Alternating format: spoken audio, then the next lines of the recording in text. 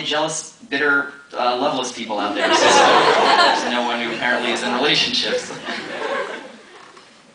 I wish I could say that I love you with all my heart.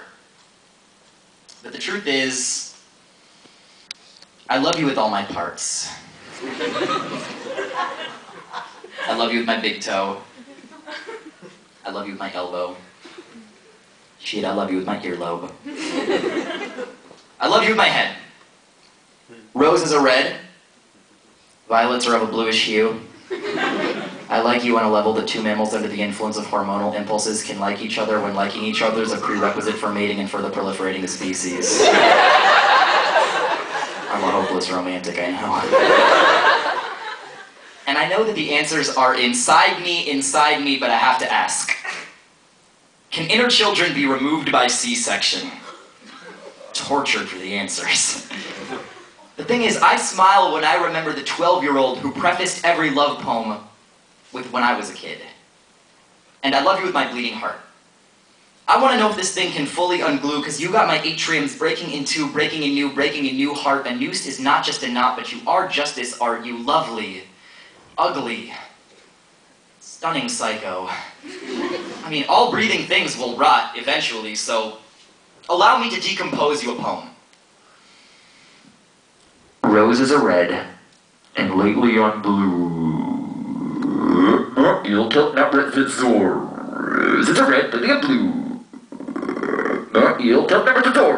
Roses are roses are red, ro- ro- roses are red, and lately I'm blue, and lately I'm blooming. I love, I love.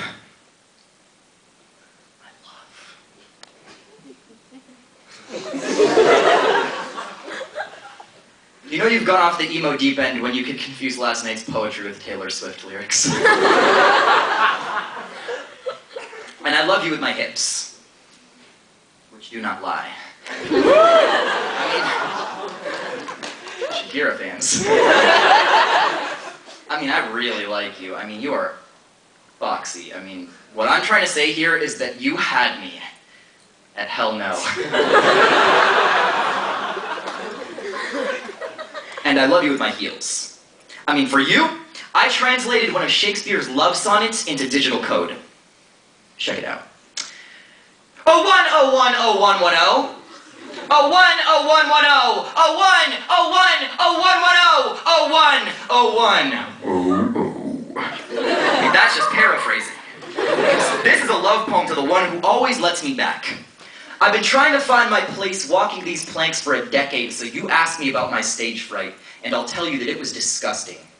But the frog in my throat ate the butterflies in my stomach.